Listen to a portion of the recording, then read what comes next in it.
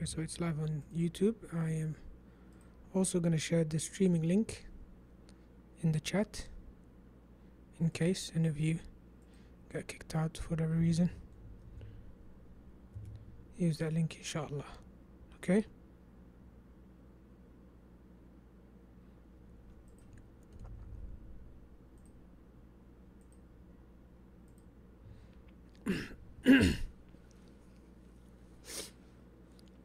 طيب I've got the chat enabled in Zoom I hope I really hope we don't get uh, Zoom bombed by someone um, someone said the volume is low is that for everyone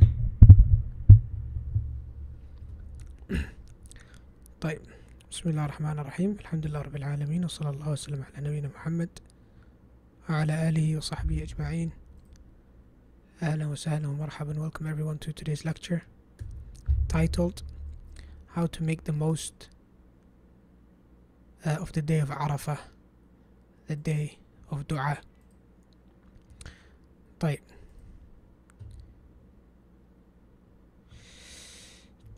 let me share my screen so inshallah it's going to be a short lecture today the intention behind it is to remind myself and my dear brothers and sisters about this immense day which is upon us, which is gonna be tomorrow, inshallah ta'ala, the day of Arafah, and uh, how we can make the most of it. So, um, to start, without any further ado, I say Bismillah ar-Rahman ar-Rahim, Alhamdulillahi Rabbil Alameen, صلى الله وسلم على نبينا محمد وعلى آله وصحبه أجمعين اللهم علمنا ما ينفعنا وانفعنا بما علمتنا وزدنا علما طيب uh, how to make the most of the day of Arafah, the day of Dua. Uh, the first thing it's worth mentioning before we talk about the virtue of the day of Arafah. So talk about the virtue of these 10 days. Okay? What's the virtue of these 10 days? Then the best hadith that I can share with you in that regard is the hadith of Ibn Abbas radiallahu anhuma who narrated that the Messenger Muhammad said قال قال رسول الله صلى الله عليه وسلم ما من أيام العمل الصالح فيها أحب إلى الله من هذه الأيام There are no days during which righteous deeds are more beloved to Allah than these days meaning the first 10 days of ذي الحجة يعني العشر قالوا يا رسول الله ولا الجهاد في سبيل الله قال ولا الجهاد في سبيل الله So the companions they asked they said O messenger of Allah not even jihad in the cause of Allah Okay. Um, is that not better? Then the Prophet ﷺ said, No, not even jihad in the cause of Allah, unless a man goes out with himself and his wealth and does not bring anything back. In other words, there is nothing that you can do outside these 10 days that are more virtuous. Yes? Apart from one thing, which is that you do jihad for the sake of Allah and you go out with your wealth and your life you come back with nothing you make the ultimate sacrifice. Beyond that my dear brothers and sisters whatever deeds you do outside these 10 are not going to be at the same level or the same level of virtue as the good deeds you do in these 10 days. So just contemplate on that. That's why the scholars they mentioned that these are the best 10 days in the year period. Even better than the days of ramadan so some scholars they say the nights of Ramadan are better, especially the last 10 nights. There's no doubt. But in terms of days, i.e. from Fajr until Maghrib, there are no days better than these 10 days. Okay? Just wrap your head around that. And obviously, eight of these days have gone. There's only one day left, which is tomorrow, the day of Arafah. And those of you that were aware of this hadith, those of you that you know, um, felt the importance of these 10 days and made the best of it, I say, Hani lakum. Congratulations, that's good. Allahumma barik. May Allah Ta'ala accept it from you. Uh, those of you that treated these 10 days like any, or the past 8 days like any 8 days, yes, then I say to you, you've been deprived, and I suppose that has to go back to ignorance, yes.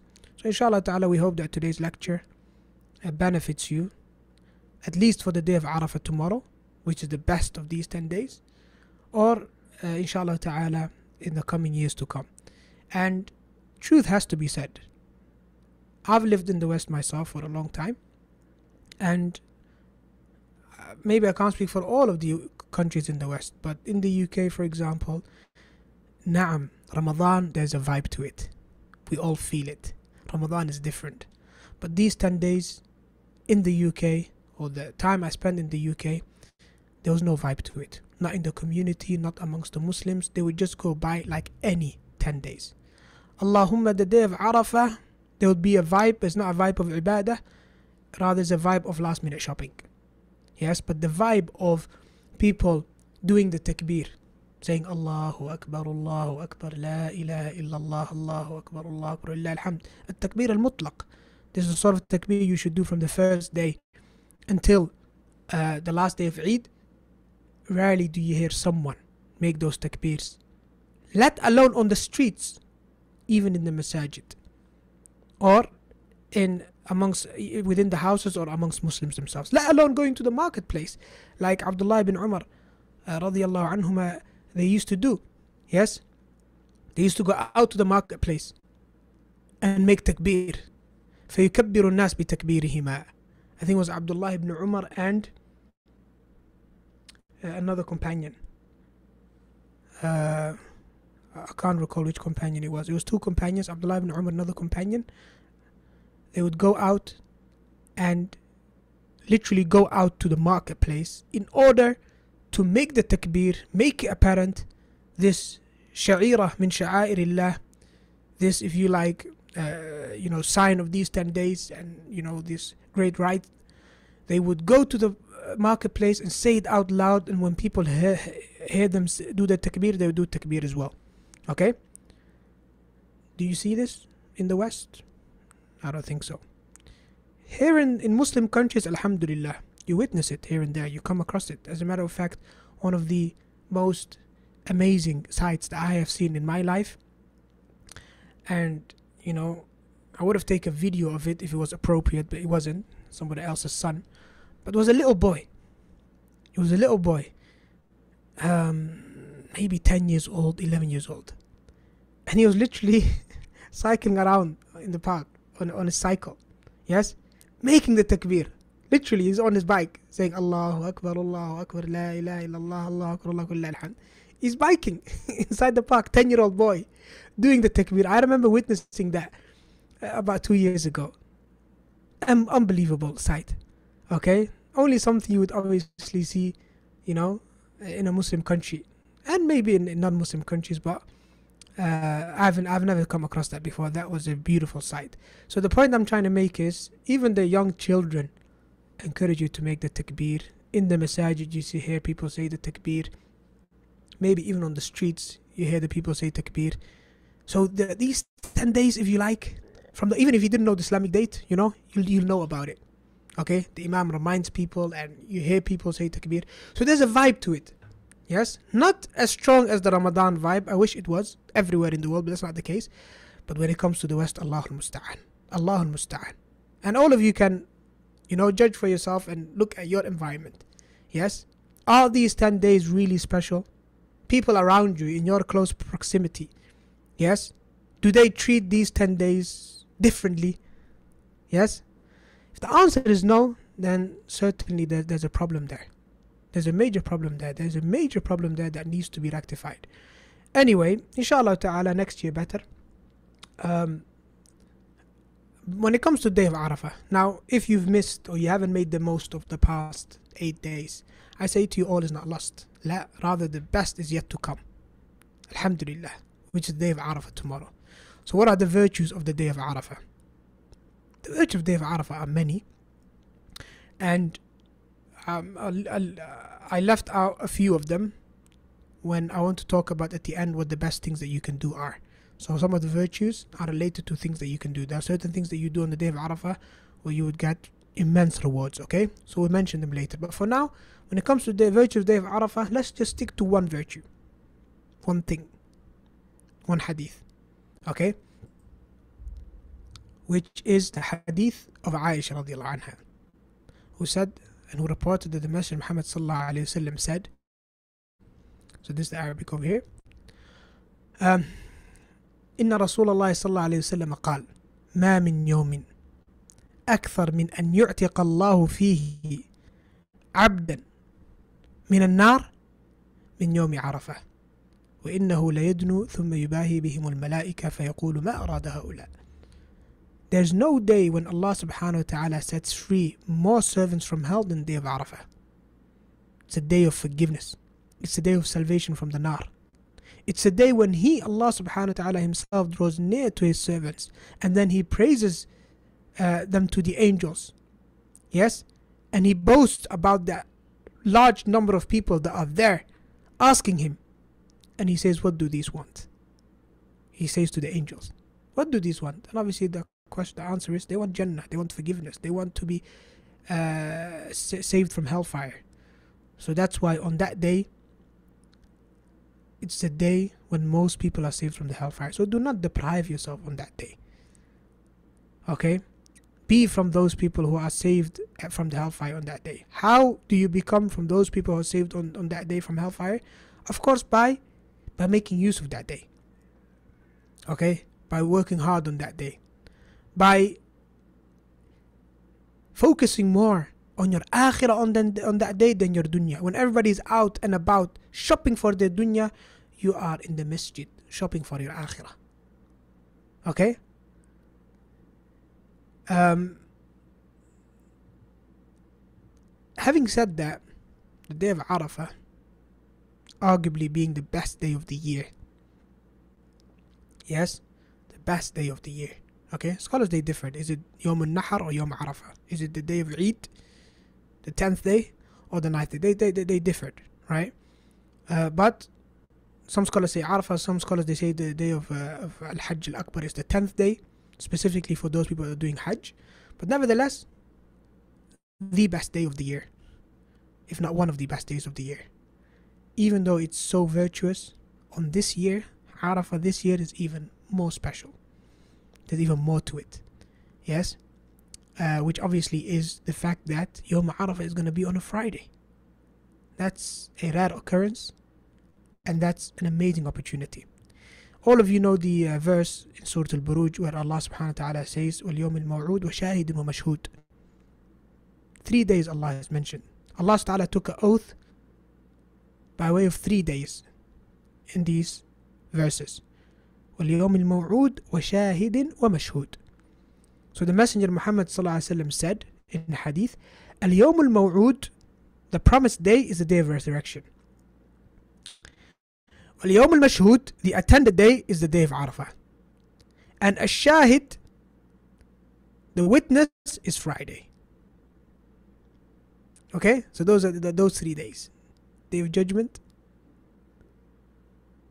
every fr- Friday and the day of Arafah so then the Messenger said the sun does not rise nor set upon a day that is more virtuous than it i.e. Friday in it, there's an hour in which no believing worshipper makes a supplication to Allah for good except that Allah answers it for him. And he does not seek Allah's aid for something except that He aids him in it. So, Friday already being the best day of the week, yes, Arafah is on the best day of the week. Okay? This is a rare occurrence that makes this day even more special. Okay? So, keep that in mind. Tomorrow is not just Yom Arafah, it's also Friday. Okay? So, what's the best thing you can do on that day? Obviously, I'm sure all of you now are supercharged for this day, for the day of Arafah, to make the most of it. You can't wait. Yes? So, what's the best thing that you can do? How can you make the most of that day? And that's the title of today's lecture. Okay?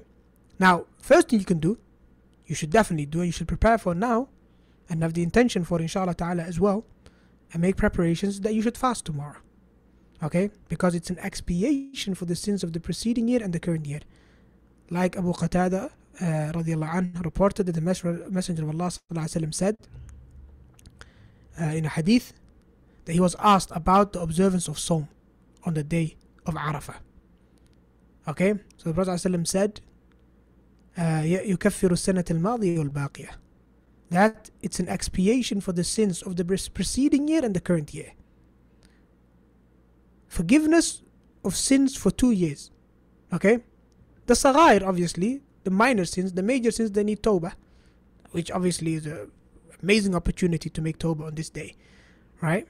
So, with tawbah, yes, which is to have regret for what you did and feel bad about it and have this resolve that you're not going to do it again.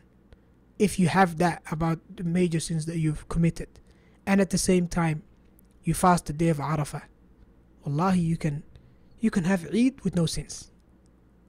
A completely empty slate. Rabbul Kaaba. Wallah, it's possible.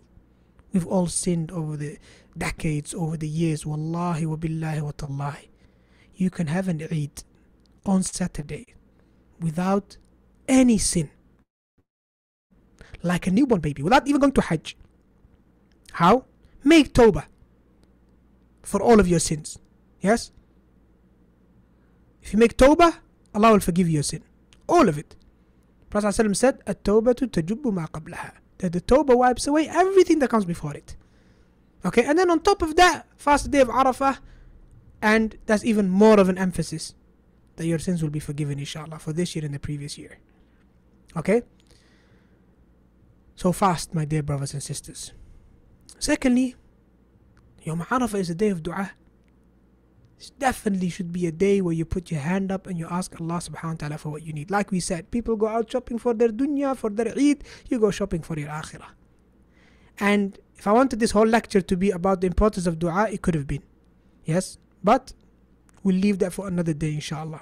I already promised all of you that, inshallah, if Allah subhanahu wa ta'ala gives us the ability, We'll do a series on dua, its importance, its mannerisms, and everything related to, to, to, to dua.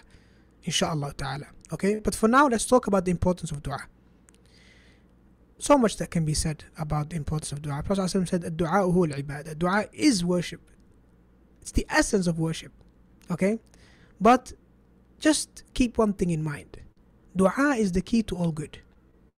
Wallahi, there is nothing that you want to achieve. ورب الكعبة except that it's in the hands of Allah subhanahu wa ta'ala. And wallahi, there's nothing that you fear except that Allah subhanahu wa ta'ala can protect you from it. If that's the case, and all of the good is in the hands of Allah subhanahu wa ta'ala, and protection from all evil is in the hands of Allah subhanahu wa ta'ala, where are you going to seek it? Let's use some common sense. If that's the case, wh- how, what, what steps are you meant to take to achieve that? I mean, if, for example, yes, to give an example in our dunya affairs, yes, imagine you have a need at some kind of government facility, right? And you need you need to get something done, right? And you know that the only person that can help you with that is let's say the MP or the minister or whatever, whoever is in charge of that department. Yes? There is no doubt that you would think about how can I get to this individual, present my case, yes, so that he can help me out because there's no other way. He's the only one that has the authority to say yes or no. You wouldn't think twice. That's your dunya. When it comes to your Lord, when it comes to your deen, when it comes to your akhirah, none of us doubt. قل اللهم مالك الملك تؤتي الملك من تشاء وتنزع الملك من تشاء وتعز من تشاء وتذل من تشاء بيدك الخير In your hands is all good إنك على كل شيء قدير Indeed you are capable of everything None of us doubt that If that's the case and none of us doubt that Allah subhanahu wa ta'ala He is the owner of everything then why do we try everything that we can to achieve our objectives minus dua dua is the last thing that we do why is that the case? We have to ask ourselves right there. We have to really, you know, retrospectively, you know, look look at ourselves. When it comes to you want to find a job, when it comes to illness, when it comes to debt, when it comes to family problems, it doesn't matter what it is. You are always keen to take the steps to resolve it. You're looking for a job, you go on LinkedIn, you make your profile, you apply to certain jobs, blah blah, you do everything right? You have family problems, okay, you get in touch with the in-laws and you try to resolve it. You have, you feel pain, you're sick, yes? Straight away, you're on the phone call, call the GP, make an appointment. Sah? There's nothing wrong with all of these steps. That's what you're meant to do. It's, co- it's called taking the steps, right? So, so in Arabic, it's called al akhd bil asbab, taking the means. This is something that is legislated. Great. MashaAllah alayk, you're good. But why do you leave behind the greatest of all means? Why? Why not? Before you call the GP, what if you instead, like the Prophet ﷺ said in a hadith, whoever feels pain, let him say Bismillah three times and they say Bismillah, Bismillah, Bismillah, A'udhu billahi wa qudratihi min shari ma wa hadir. Why not? Say that seven times, Prophet ﷺ said. I seek refuge in Allah and Allah ability to do everything from the evil of that which I feel and what I fear. So you think you've got a headache, you, th- you, you worst case scenario, you think maybe whatever, I might have this, I might have that. You have got stomach pain, you maybe I, I, got, I got I got poisoned, whatever. I got food poisoning. Whatever it is, the worst case scenario is in your head, yes, just make that dua. That's the first thing. Then grab the phone and call the GP. No problem. No problem. You're indebted. Before you call all your relatives or your friends, before you do that, do it inshallah if you have to. But before before you do it, make dua. Maybe you don't even need to call them. Okay, the point I'm trying to make is that unfortunately, we don't realize that dua is the greatest of all means of achieving whatever we want. Absolutely. Allah subhanahu wa ta'ala, He is the musabbib al asbab. He is the one who has made the qadar for everything and He has made means to achieve things. And He has made certain things a, a, a factor or a reason for certain things happening. Yes, so they say cause and effect, cause and effect. There's no cause and effect. It's all in the hands of Allah subhanahu wa ta'ala. Allah is the one who has created the cause and Allah subhanahu wa ta'ala is the one who creates the effect. Ibrahim alayhi salam, didn't his people throw him into the fire? If we go by cause and effect, you have fire, what's the effect? To get burned. Sah? Ever seen fire that doesn't burn? Nah. In Ibrahim's case, the fire didn't burn. Why didn't the fire not burn? Because Allah subhanahu wa ta'ala, He's the one that creates the cause and He's the one that creates the effect. Allah said to the fire, which is meant to burn, Kuni bardan wa salaman ala Ibrahim. Be cool and gentle on Ibrahim. Don't harm him. So the fire didn't burn. If that's the case, why does Allah subhanahu wa ta'ala tell us that story in the Quran? Okay, let's talk about cause and effect. Isn't it old age should stop one from having children, right? Sah? So how did Zakaria alayhi salam and his wife, both old in age, how did they have Yahya as a child? How? Because Allah subhanahu wa ta'ala, He's the one that creates the cause. Why did Allah tell us about that story? Okay, somebody being swallowed by a, uh, a whale or, if you like, some kind of animal, right? Being devoured. Isn't that cause for dying? Ever, ever heard of someone, you know, being swallowed by an animal and then coming out back alive? Naam, Yunus alayhi salam. It happened. Okay? And all of the stories in the Quran, you can go back to the Quran, they're all full of miracles. Yani, somebody dies, they died. Sah? Can they come back to life? La. From the qadr of Allah subhanahu wa ta'ala, Allah's rules that He set in place, people are resurrected on day of judgment. But with the permission of Allah, Isa alayhi salam brought the dead back to life. Because Allah is the one who creates the cause and effect. Now, if that's the case, why are we so stuck to all of the means, but we leave off the greatest of means? Which is dua. Why? Goes back to our ignorance. We don't really understand what dua is. So inshallah ta'ala, hopefully that series, once we speak about that, hopefully that will clear things up. Right? However, my dear brothers and sisters, keep this in mind. Always make dua the first step you take. And then take every other step you need to take. Inshallah. Okay? Having said that, having said that, bring it back in line with today's lecture all of you have wishes, no doubt. All of you have things that you want to be resolved. There are things that you fear. Every single one of you. Yes? I say to you, Wallahi, yes, you will rarely come across a better opportunity than tomorrow. Even now, don't leave it till tomorrow. Even now, make the dua, no problem. Make it tonight. Wake up last third, of course, of the night. But even more so, if anything, do not miss tomorrow. Okay? Dua is the key to all good. And I've shared this uh, along with the description of this lecture today. One of the students said that it touched, it, it struck a chord with him, and hopefully it struck a chord with all of you. It did for me, definitely. When I read this narration, I saw dua in a completely different light. uh, the great Tabi Atta ibn Abi Rabah, he said, When Allah releases your tongue and makes it easy for you to make dua, then know that Allah wants to grant you that which you desire. Regardless of how great your desire or request is. You find yourself constantly asking Allah for something, know that that thing is meant for you, inshallah, it's on its way. Why is that? He gives an example. He says, So if you find yourself always asking Allah for Al Firdaus, constantly, you're in sujood, you're saying, Allahumma inni asaluka jannat al firdaus, bighayri hisabin wala adab. Oh Allah, I ask you jannat al firdaus without any reckoning or punishment. You say that in your, in your sujood. You say that regularly between adhan and iqamah. Yes? Then know that Allah wants you to enter into Jannat al Firdaus. Why? Because otherwise, if Allah did not want you to enter into Jannat al Firdaus, He would not He would have prevented you from making that dua like He has prevented others besides you. And this is the greatest irony in life. Wallahi billah. Let's let's stop looking at other people. Like I said, let's judge ourselves. Every single one of you today on this call, or anybody that's going to watch this video, inshallah, on YouTube.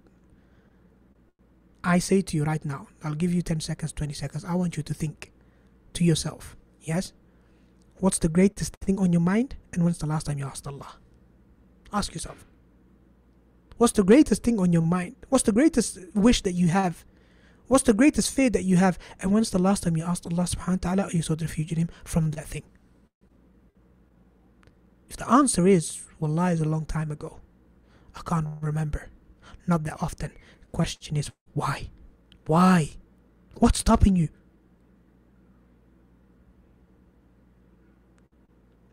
والله يغضب حين تترك سؤاله وبني آدم حين يسأل يغضب Allah subhanahu wa ta'ala becomes angry with you when you stop asking him. Whereas the mankind, they become angry with you when you ask him. When you ask them. Why didn't you ask Allah? Do you think Allah is going to be upset with you? La. As a matter of fact, Allah becomes angry with you if you don't ask. Ask Allah subhanahu wa ta'ala, what's stopping you? And I remember one of the students who commented said, you know, it's a bit scary. Why? Am I from those who who is prevented? Well, if it this narration shouldn't make you lose hope. It should fill you with hope. If it is that you haven't made the dua like you should have, yes, then I say it's not because I'm not going to say it's because you're from those who are prevented. It's out of ignorance. And the fact that you came across this narration right now, which made you think that itself is a good sign ask yourself how how fortunate are you to now see dua the way it should be seen? How fortunate are you to now have this insight into dua? Alhamdulillah. So that should uh, push you towards making more dua. It shouldn't make you lose hope. Make the dua. There's nothing stopping you wallah ask allah subhanahu wa ta'ala. Because like Umar, Umar al-Khattab radiallahu anhu said inni la ahmilu هم الإجابة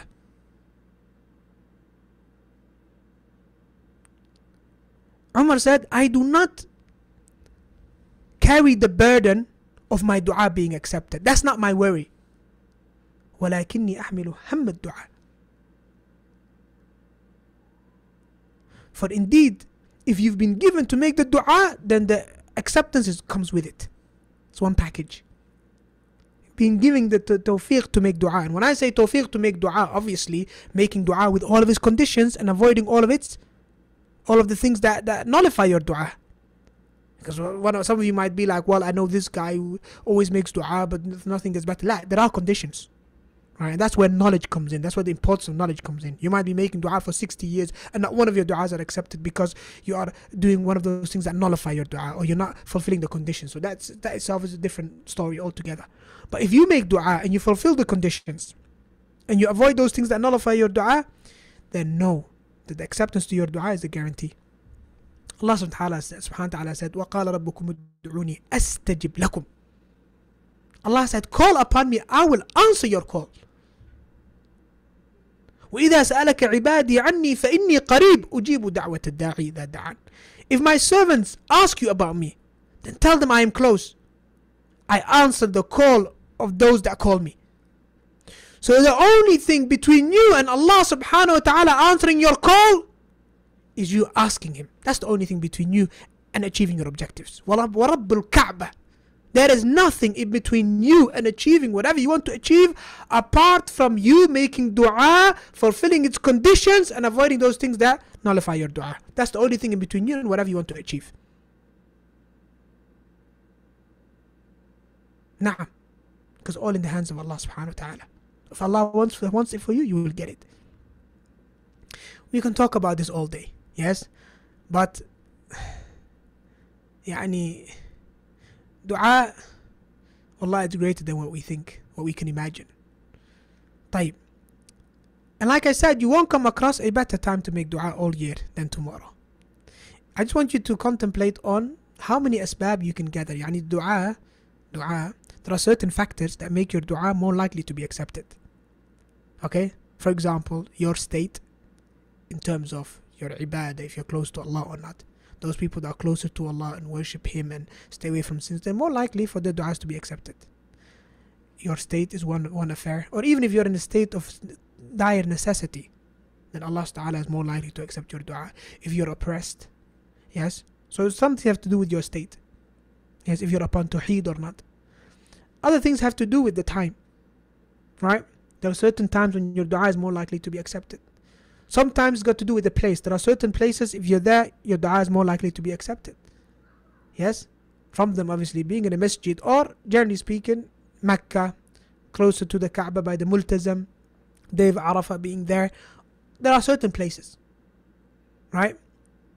There are certain deeds, there are certain mannerisms. If you fulfill them, your dua is more likely to be accepted.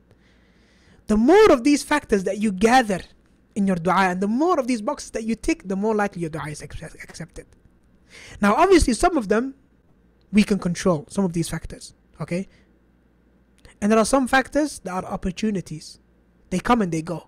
It's not in our hands. We can't we can't get them whenever we like. Okay? So inshallah talking about those factors that are in your control, all of that all of that inshallah we'll talk about when we get to the dua series. But for now, let's talk about the factors that you can that are there tomorrow a one of opportunity that all come together on that day, Yom Arafah, on a Friday, that you're not gonna have on Saturday, and you're not gonna have on Sunday. Let's let's talk about those. Number one, of course, you will be fasting. Okay? Tomorrow, the last hour of Friday is an opportunity. Like we mentioned earlier in, in hadith at the beginning.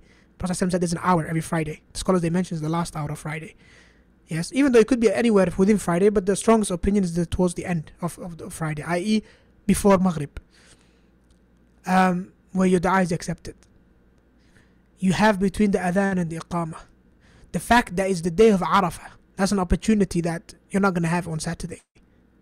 Okay? So obviously, the adhan and the iqamah, that's every day. Towards the end of the salah, when you're doing at tahiyyat as well, is the place where your dua gets accepted. But the point I'm trying to say is you can kind of like have all of these if you go to the masjid. Alright, and this is my advice to you. And I ask Allah subhanahu wa ta'ala that He gives me the tawfiq myself first and foremost to implement this. I advise you, specifically the brothers. Yes? And the sisters as well, maybe a corner in their house. I advise you tomorrow after you pray Asr, first pray Asr in the Jama'ah in the masjid. And make sure you're there by Adhan time when the adhan's being made, make the du'as to be made for adhan. That's a time that your dua is accepted. Between adhan and iqamah, make dua is a time where your dua is accepted. While you're praying the salat al-asr itself, in your sujood, in your tashahud, make dua, it's time where dua is accepted. And then stay in the masjid until maghrib. And do a lot of good deeds, which again, like we said, doing good deeds before making dua makes is a factor that makes your dua more likely to be accepted. So read some Quran. Seek some forgiveness. Yes? Give some sadaqah. And then, towards the end, before Maghrib, last hour on Friday, put your hands up and make dua. Until Maghrib. You will have gathered all of these factors.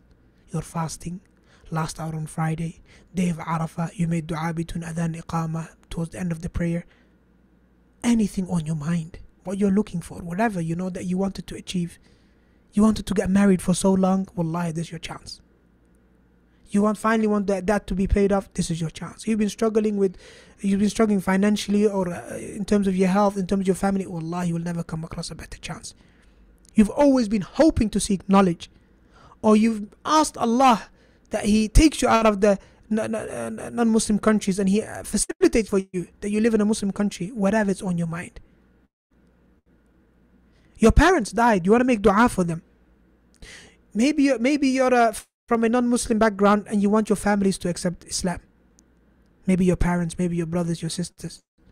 Wallahi, there's no better opportunity. Wa Rabbul. Do these things. Don't make this opportunity go by. You will not come across a better time all year. And only Allah knows if you'll make it to next year. What should you ask for? Well, I've mentioned some things when it comes to your dunya needs. But like we said before, when it comes to dua, my dear brothers and sisters, one of the best du'as to make, generally speaking, one of the principles when it comes to making dua is that you keep your dua as encompassing and general as possible. And those were the du'as of our Prophet Muhammad His du'as would be jawami al-ad'iyah. There will be du'as that are very general and encompassing and not specific du'as asking for A, B, C, D, E, F, Y, Z. La. Why is that the case? Why is that the case? Why shouldn't you specifically ask, Oh Allah, make it easy for me to marry that sister? Or, Oh Allah, make it easy for me to marry. Oh Allah, make it easy for me to buy a house. Oh Allah, pay off this particular debt that I have that you know of. Oh Allah, cure me of this disease, particular disease that I have today. La, don't, don't.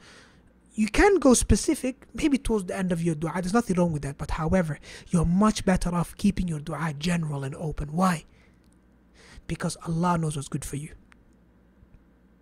Allah knows what's good for you. Allah knows better than you what's good for you. So why not leave that to Allah subhanahu wa ta'ala? Why not ask Allah subhanahu wa ta'ala for all of the good in this world and hereafter? One of the du'as Prophet ﷺ used to make most often is ربنا آتنا في الدنيا حسنة وفي الآخرة حسنة وقنا عذاب النار. Done. خلاص. That's it. Just if you if, if there's one du'a, just that du'a you made it for the rest of your life, you'd be in a very good state in this world and the hereafter. Oh Allah, give us good in this world, give us good in the hereafter, and protect us from the hellfire. That's it. If, if, if Allah, when you say to Allah, Oh Allah, give me all the good in this world, or give me good in this world, Allah knows better than you what's good for you. You might think that this particular sister is good for you to get married to.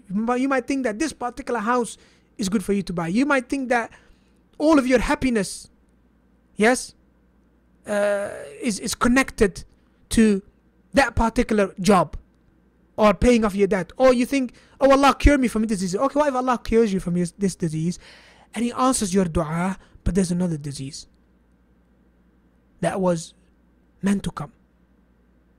Yes? Because you know, true.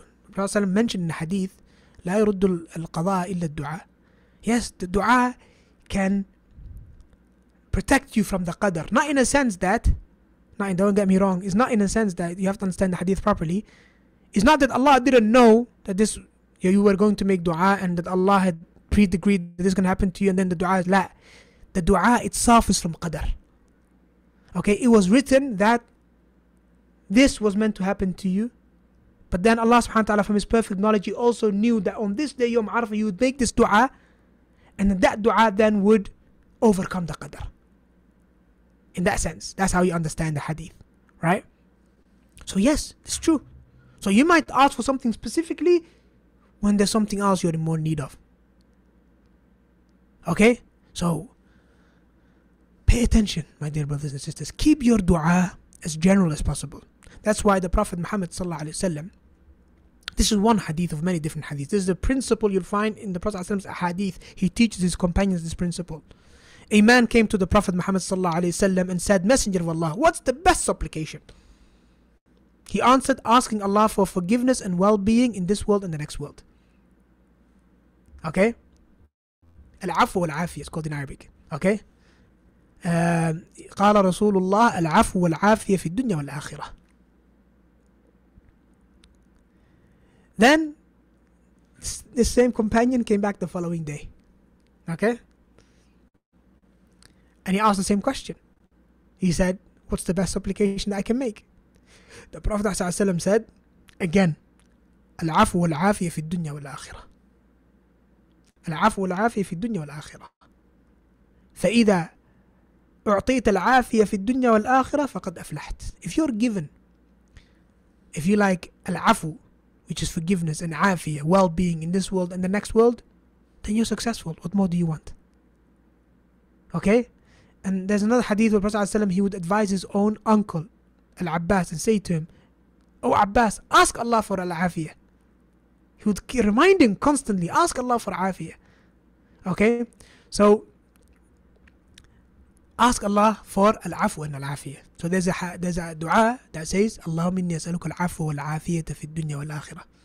اللهم إني أسألك العفو والعافية في ديني ودنياي وأهلي ومالي اللهم استر عوراتي وآمن روعاتي اللهم احفظني من بين يدي ومن خلفي وعن يميني وعن شمالي وأعوذ بعظمتك أن أغتال من تحتي and I'll share inshallah with you a resource with all of these du'as right this dua says oh Allah give me forgiveness and well-being in this world and the hereafter oh Allah give me well-being in my in my dunya and in my wealth and in my family and, and so on and so forth so that's one thing you can ask for and all the other generally speaking all of the authentic prophetic du'as that you can get your hands on make those du'as Okay, okay, those prophetic, authentic du'as might not mention your specific situation. Eh, they might not have what you are struggling with. Sah, I agree with you.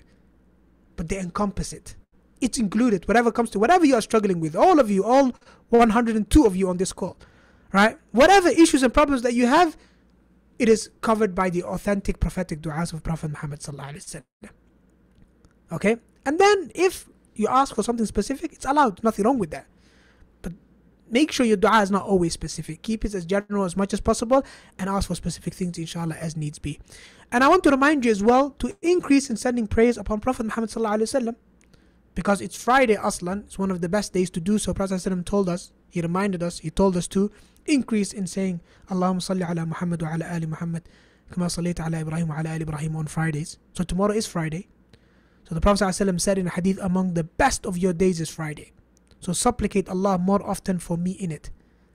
So since the best day, we should make the best dua. The best dua that you can make is sending salah upon, upon Prophet Muhammad sallallahu alaihi wasallam.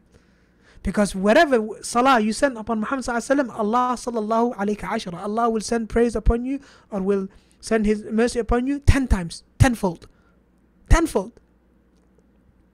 Okay, so Prophet said, "For your supplications will be displayed to me." Taib. Definitely, and the more you increase in sending the salah upon the Prophet Muhammad sallallahu the more likely you are to be in his vicinity, inshallah, on the Day of Judgment, no doubt. Okay. Um, and generally speaking, the authentic prophetic du'as that you can get your hands on. I remember I've shared with you before in Ramadan the du'as from this book called uh, Tabsir al-Nasik al-Manasik' by Sheikh Abdul Muhsin Al-Badr Sheikh Abdul Muhsin Al-Abbad Al-Badr حفظه Taala. تعالى Wallahi one of the best resources for dua me personally me personally uh, first time I've done I think Umrah or maybe Hajj I can't remember at least for the past 15 years. Whenever I go to do Umrah, whenever I go do Hajj, I've got this book with me. Always. Allahu Akbar. It's such an amazing resource. The Shaykh, Hafidhullah Ta'ala, scholar of Hadith, the Muhaddith of Al Medina, he's gathered all of the ahadith and even ayat as well from the Quran uh, that have to do with dua. Authentic ones in one place. And I came across this website, mashallah, Allahumma barik. They have the Arabic, they have the English. And I also shared a PDF with you, I remember, uh, in the tafsir program in Ramadan. So I'll, I'll post a link to this uh, website, inshallah ta'ala, in the, in, the, in the Zoom chat. All you need to do, yes? All you need to do, like I said, be there for Asr and just read through this document. Print it out beforehand, take it with you if you want, so that you don't get distracted by your phone and WhatsApp messages, whatever. Print it out, take it with you to the masjid, and just go through these du'as. Every single dua in here is either an ayah from the Quran or authentic hadith. Okay? And wallahi, they are so beautiful. Allahumma barik. They are so beautiful du'as. Unbelievable. Not just are you making dua, it increases you in iman. You're learning correct aqidah and you, you can rest assured that you're not making a dua that angers Allah subhanahu wa ta'ala. Because unfortunately, sometimes these du'as that are made up, they have within them things that go against the sharia, that anger Allah subhanahu wa ta'ala, let alone making Allah pleased with you. But with these du'as from Prophet Muhammad sallallahu all of them, you can rest assured that they're going to be the best du'as that you can make. Okay? Even one of the du'as that Prophet used to make, teaching us as well that we should make it is, اللهم إني أسألك من خير ما سألك نبيك وعبدك محمد. Oh Allah, I ask you from the good that your Prophet and servant Muhammad has asked you from. Has asked you of. Whatever Muhammad has asked you, Allah I ask you as well. وأعوذ بك من شر ما من شر ما عاد به نبيك وعبدك محمد. And anything that your messenger and your abd, your servant Muhammad has sought refuge from, oh Allah I seek refuge from. How encompassing is this dua? And this is actually a longer dua, dua that starts with uh, اللهم uh, اللهم إني أسألك من الخير كله عاجله وآجله ما علمت منه وما لم أعلم وأعوذ بك من الشر كله عاجله وآجله ما علمت منه وما لم أعلم. اللهم إني أسألك من خير ما سألك نبيك وعبدك محمد صلى الله عليه وسلم. وأعوذ بك من شر ما عاذ به نبيك وعبدك محمد. اللهم إني أسألك الجنة وما قرب إليها من قول وعمل. وأعوذ بك من النار وما قرب إليها من قول وعمل. وأسألك اللهم أن تجعل كل قضاء قضيته لي خيرا. والله you'll never come across more encompassing dua than that. One of the most encompassing du'as you'll come across. Let's see if I can find it here actually. Here we go. There we go.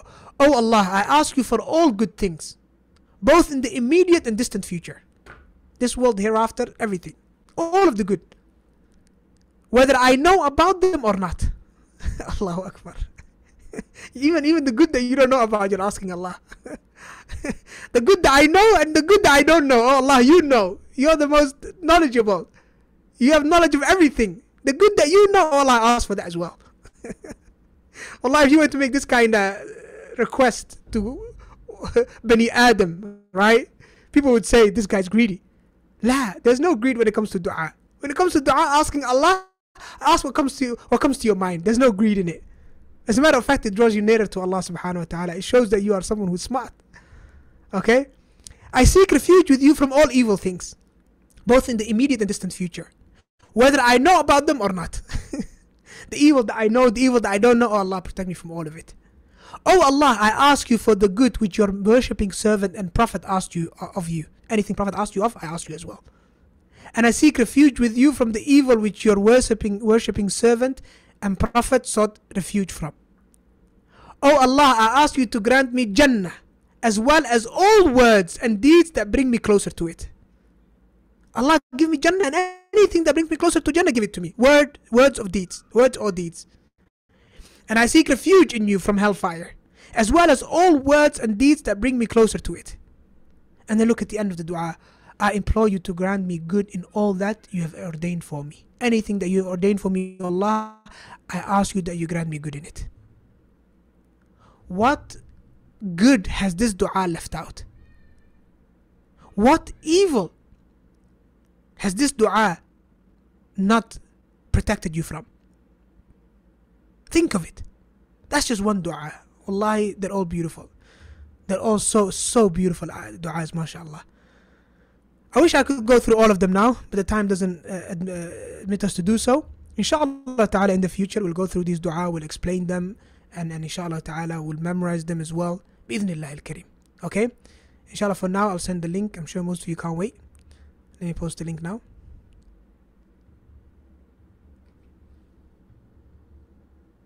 Uh, link. Might have to like.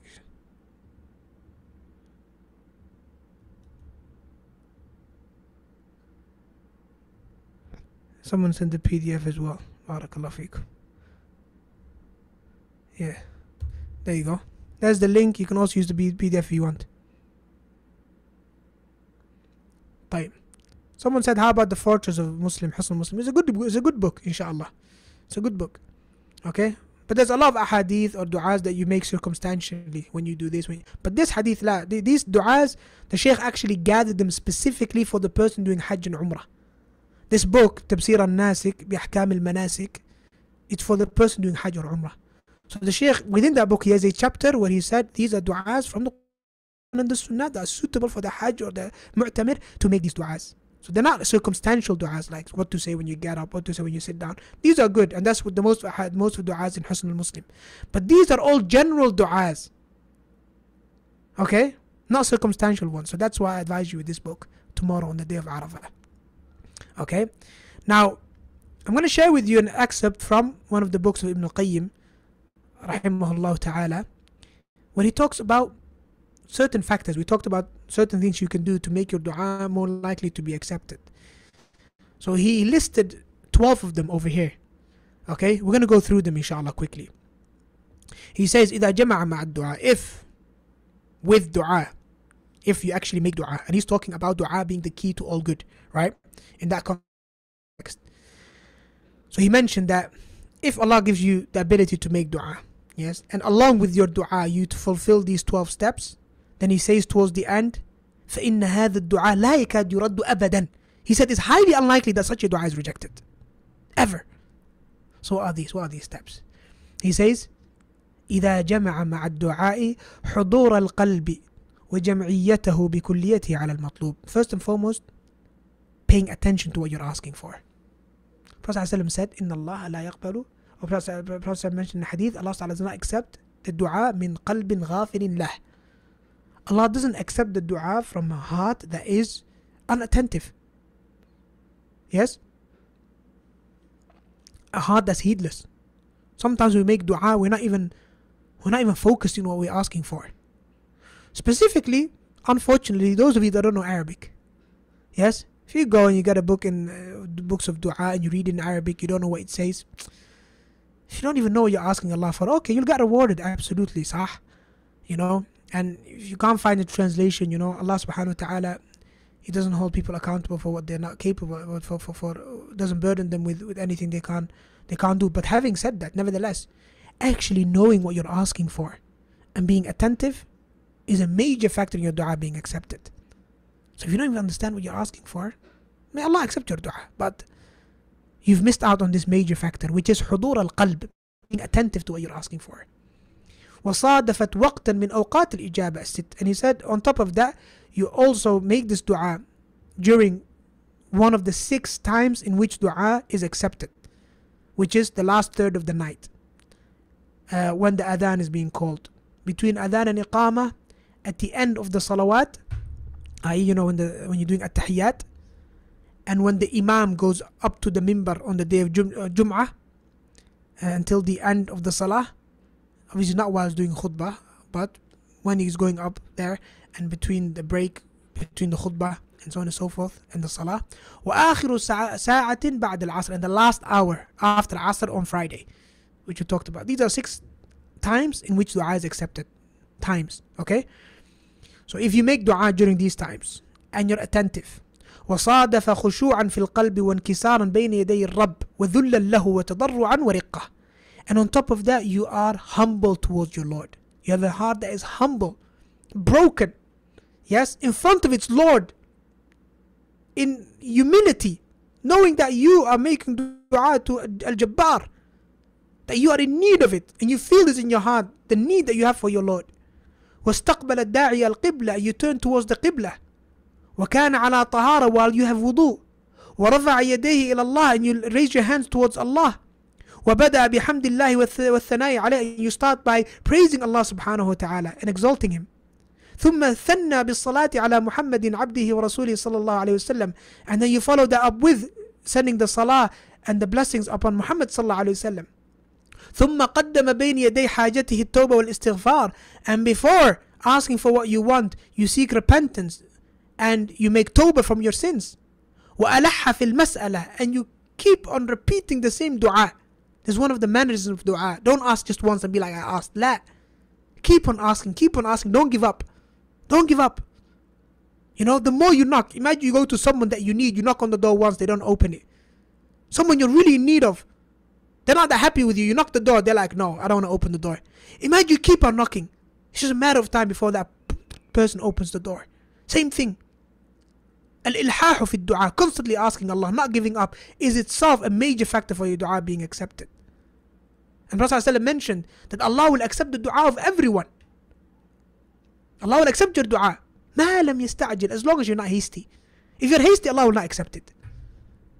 What is being hasty? Prophet told us that the hasty is that you say, I asked Allah and He didn't answer me. Once you have that mentality, forget it. Your dua is not accepted. Forget it. Khalas. Give up. Once you come with the mentality of, I asked Allah, I asked Allah, I asked Allah, Allah's not answering my dua, you, you've lost it. Maybe Allah already answered your dua, but you don't know. Because answering your dua doesn't mean you just you achieved or you get that thing you asked for. It can be in one of three ways. Allah subhanahu wa ta'ala might give you what you asked, Allah might avert from you an evil that's equivalent to that which you asked, or Allah subhanahu wa ta'ala might give you better than that on the day of judgment. So your dua is accepted 100%. So once you come with this mentality of asked Allah hasn't accepted it, that's it, your dua is not accepted. وتوسل إليه بأسمائه وصفاته وتوحيده and he draws near to his Lord by way of his perfect names and attributes and by way of tawheed. We know all of the hadith, okay, of the three men that were in a cave and they all made the wasila. And every single thing they came up with, they were they were deeds that showed their ikhlas and their sincerity and their tawheed to Allah subhanahu wa ta'ala. And that they only have done that which you've done for the sake of Allah. So, na'am, say, Oh Allah, if you know that I have done X, Y, and Z for your sake, yes, use that as tawassul. That is something that is mashru', that you mention your good deeds that you've done for the sake of Allah. Yes?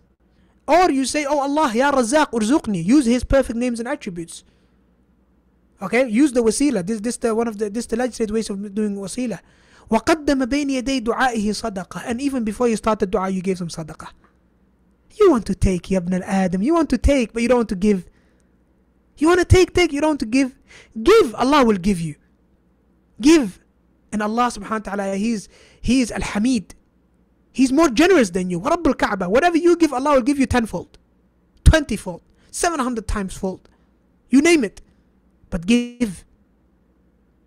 So Ibn Qayyim he says, give sadaqah. So even before, like we said, you go to the masjid, you plan to go asr to the masjid, give sadaqah before you go there. Inshallah. فإن هذا الدعاء he says then this dua لا يكاد يرد أبدا it's highly unlikely that such a dua is rejected he says Ibn al-Qayyim and who is Ibn al-Qayyim he is an expert in this bab yes Allah and when it comes to dua and, and you know things drawing near to Allah Ta'ala and things that soften your heart he is he is he is Ibn al-Qayyim rahmatullahi alayh so make dua as much dua and seek forgiveness seek forgiveness uh, the Prophet Muhammad sallallahu if you want to know which how to seek forgiveness, then you should do the Sayyidul Istighfar. Sayyidul Istighfar is a dua which is the best way of seeking forgiveness. اللهم أنت ربي لا إله إلا أنت خلقتني وأنا عبدك وأنا على عهدك وعدك ما استطعت to the end of the dua. Beautiful dua, full of tawheed.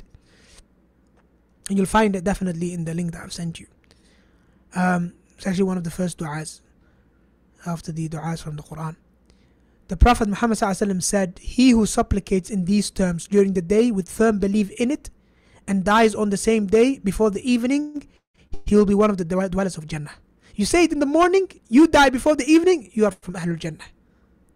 And if anyone supplicates in these terms by saying this dua during the night with firm belief in it and dies before the morning, he will be from the dwellers of Jannah. You say it in the night before you wake up that morning, Fajr. If you don't wake up and you die, you are from the people of Jannah narrated by Al Bukhari. And all other good deeds that you can think of. We mentioned give sadaqah, read Quran between Asr and, and, and Maghrib or during the day, as much Quran as you can, be good to your parents. Yani all of the good good deeds that you can think of. Tomorrow is the day. Tomorrow is the day, inshallah. هذا والله أعلم وصلى الله وسلم على نبينا محمد إن شاء الله we'll conclude with that جزاكم الله خيرا اللهم علمنا ما ينفعنا وانفعنا بما علمتنا وزدنا علما ما شاء الله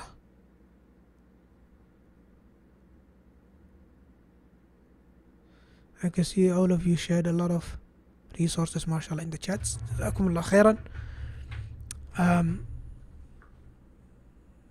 I hope that Allah I hope that the, the lecture was beneficial to you inshallah uh, inshallah ta'ala share it with others as well I've given you the link to the YouTube uh, stream uh, as soon as we finish the lecture.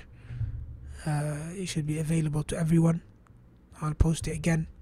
Share it far and wide. Imagine anyone you, sh- you share the lecture with. Imagine they actually it actually moves their heart and they make du'a and they achieve good. Then know inshallah ta'ala you will receive your share of that. And imagine you share this lecture and someone asks day of Arafah tomorrow to become a scholar.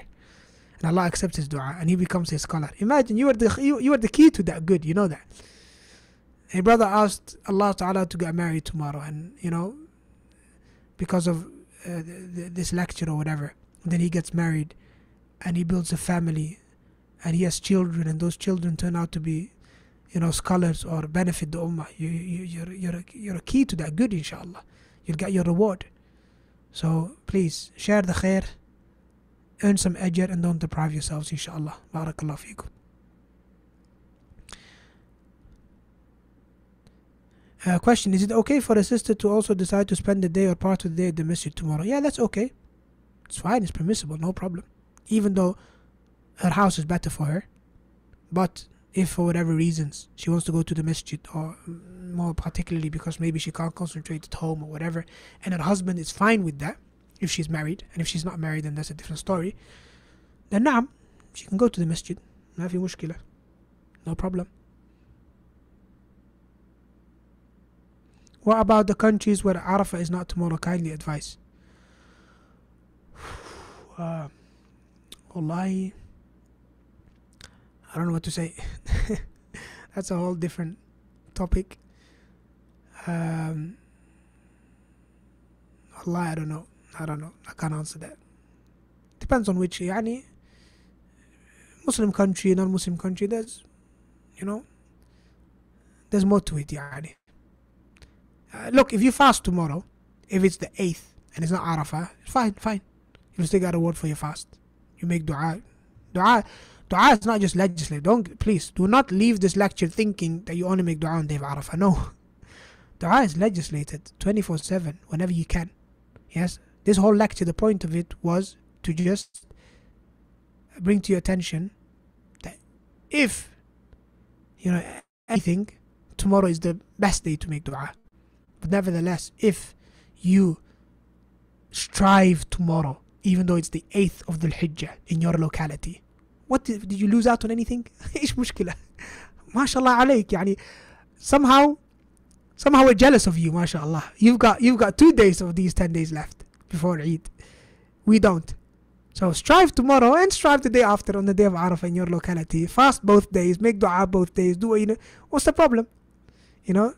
And regardless what the answer is going to be to your question should you follow your Arafah based on the Hujjaj and you know the fact they're doing Hajj you should follow Saudi Arabia or not or whatever.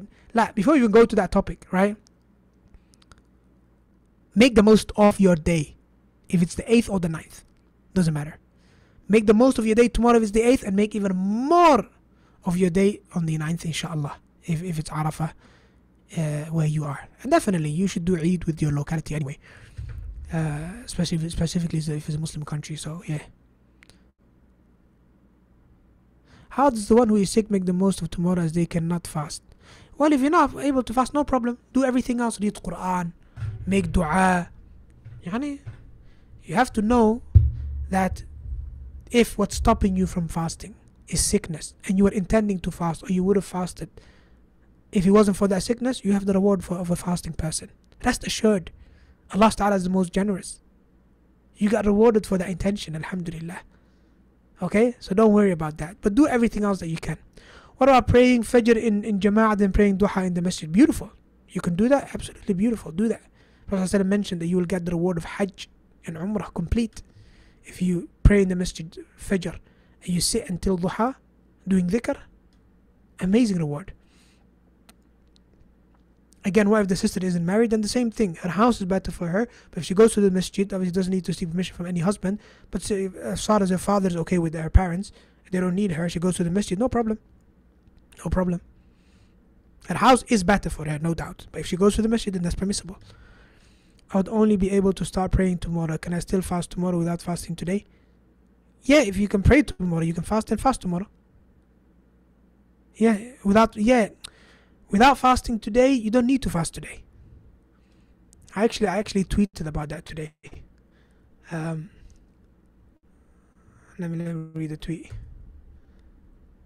The tweet went around the lines of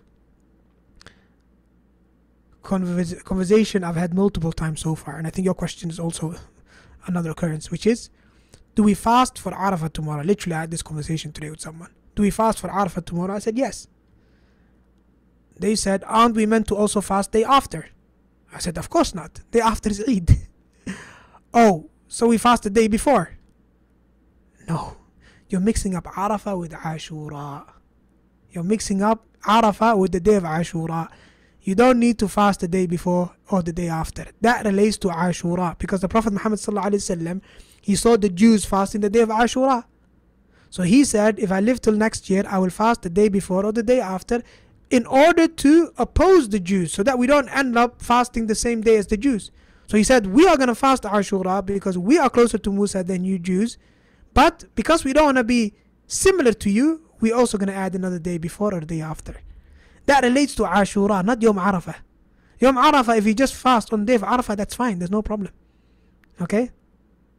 واضح so a lot of people they have that misconception they mix up between Ashura and Yom Arafah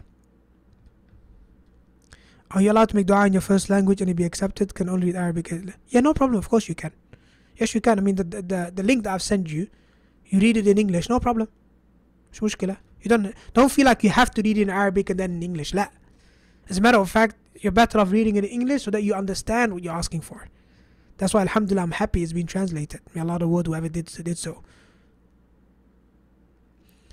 How do you have true certainty while making dua? Well, by having good thoughts of Allah. That Allah, inshallah, will accept your dua. Not making dua and being like, well, Allah's not to accept it anyway. La.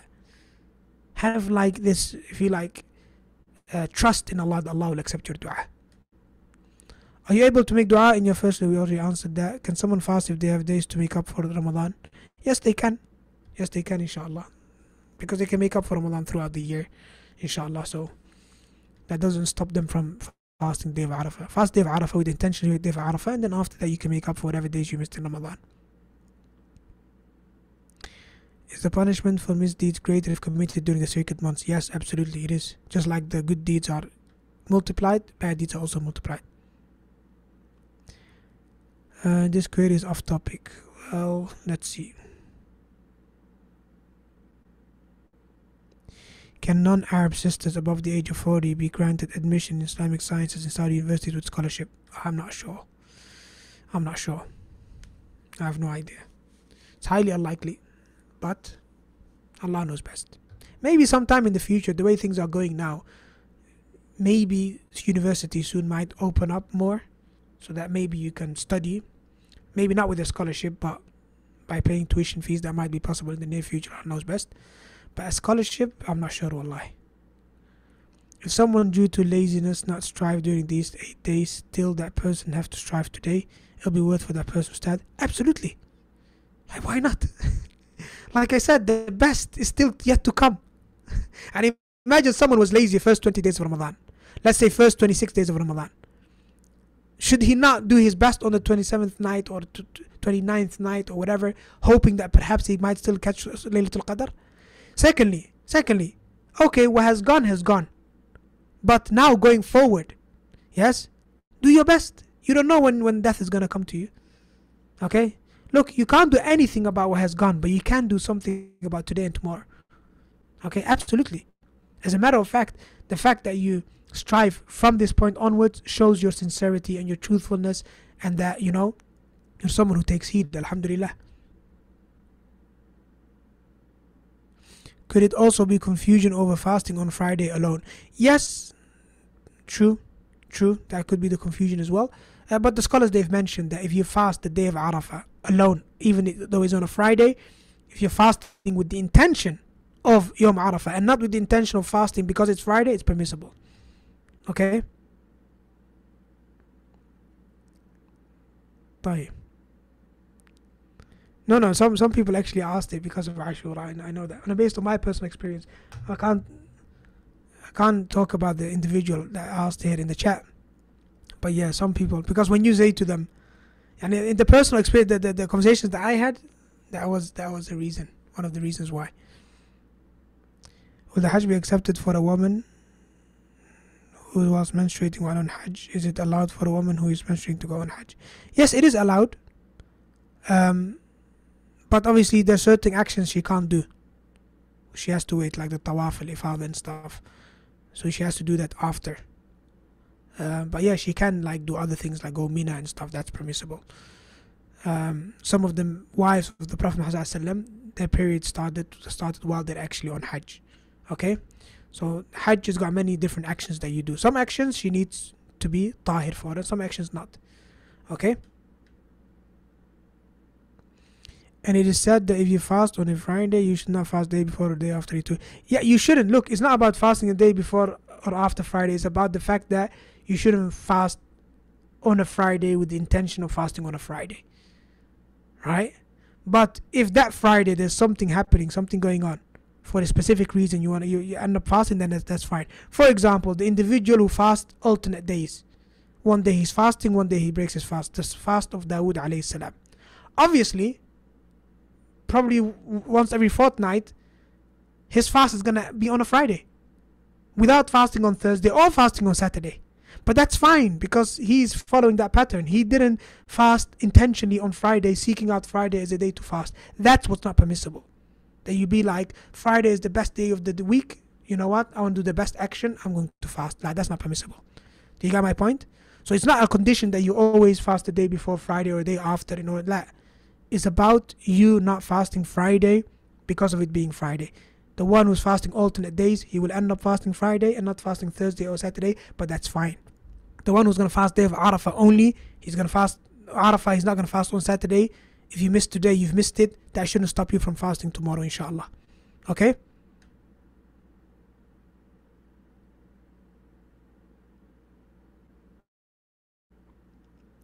Most people seeking to fast on Thursdays because of the hadith of not selecting Friday Friday alone for fasting except one is fasting the day before or the day after. Yes, absolutely.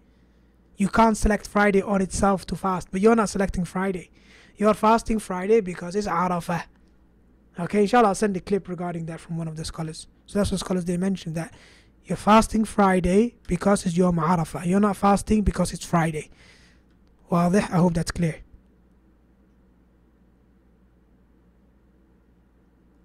What are those purple books behind you? it's a collection given by uh, one of the, um, if you like, uh, here. It's a mixture of different books, some tafsir, some this. It's a collection you get from this organization for free here in Saudi. How can I protect people from the fitna between the Salafis as I know people who got caught up in it? I would like to advise from an elder like you. Wallahi, don't get don't get caught up between fitna between the Salafis. Yani, goes without saying. There should be no fitna between Salafis, alhamdulillah. If any advice, take the advice of the scholars, do as the scholars do. Simple as. Yani, and when I say take advice of the scholars and follow the scholars, there's one thing you need to know. The scholars as a whole, yes, yes, you should follow them, right? But, yani, how can I put it? You're not going to find all of the scholars of the ummah, yes, agreeing on something that's batil. Prophet said, لا تجتمع أمتي على ضلالة that my ummah will not all agree upon a misguidance. Right? So you just follow the scholars, generally speaking. Yes? And if you find issues between two scholars that are both Salafi, right? Then look at what the other scholars are doing. Right? Follow their path.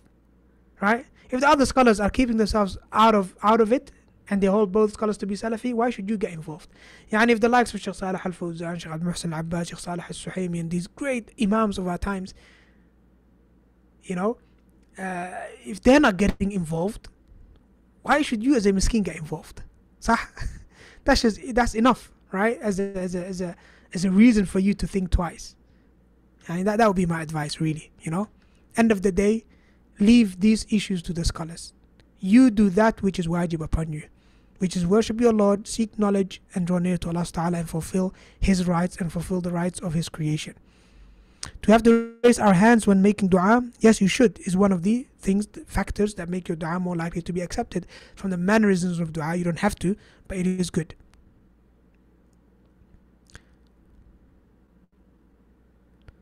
When one is praying in the masjid, then how do they give out sadaqah charity to the most deserving from the poor and needy?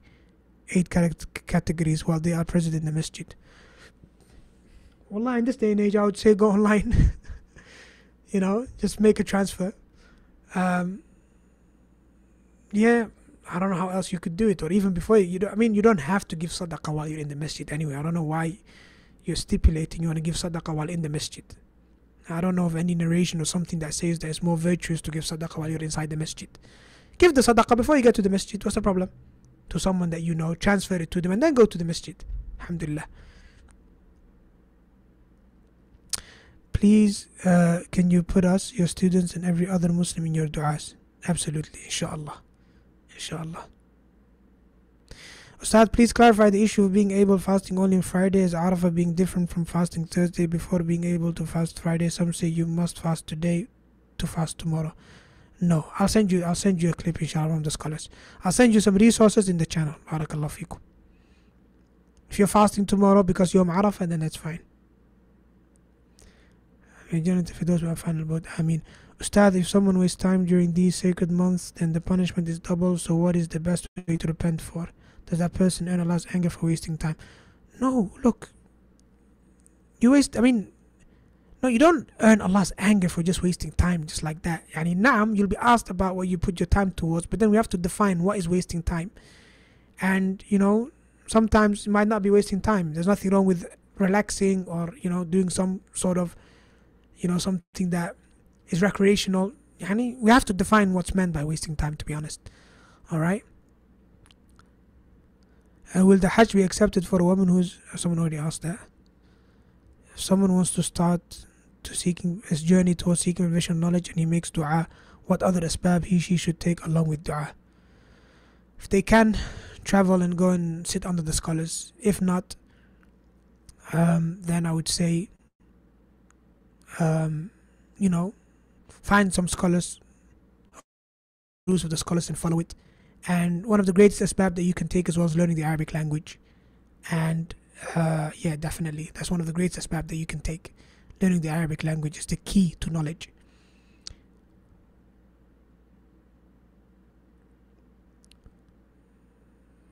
Okay, there are a lot of fiqh, fiqh questions here. Wallah, I can't ask them. I can't answer them right now. Um, as a matter of fact, I think I'm gonna have to uh, wrap it up here. Going over time. Let me just quickly see if there are any questions that are related to our lesson today. If he or she is staying in a place where there are nearly no scholars around the city, for example Germany, then seek knowledge online inshallah with someone that is trustworthy and upon the sunnah. al-Kareem. Is it better to make dua in private? If you can, yes, definitely. But if you're like in the masjid or something, it shouldn't stop you from making dua. Do we have to raise our hands when making dua of the morning and evening? Uh, not that I know of. Remember all of inshallah. If someone is seeking marriage and would like to make dua about this affair because they found a suitable mate, should they keep their dua general or specific and mention names? Well, I would say make a general dua asking Allah for a good husband or wife. And when it comes to this particular individual, I would say pray Salatul Istikhara. Okay, if you made up your mind, then pray Salatul Istikhara and Allah Ta'ala will inshallah give you tawfiq to do that which is best. I posed as that question as there are extremes like people are listening to Yasir Qadi make excuses for him and people who are preoccupied with affectation. He said, um, Yasir Qadi, Yasir Qadi, I mean, I don't know, if, if, if you're the same person that was asking about fitna between Salafis, then Yasir Qadi doesn't belong in that, in that category, does he? We're talking about Salafis, people upon the Sunnah, not people that are misguided deviants. May Allah Ta'ala rectify him and rectify all of our affairs. Is it a must to shed tears in dua? No, it's not. No, it's not a must. It's not a must to shed tears. La, that's, that comes from Allah. Some people, they're, they're more likely to cry. They got softer hearts than others, you know.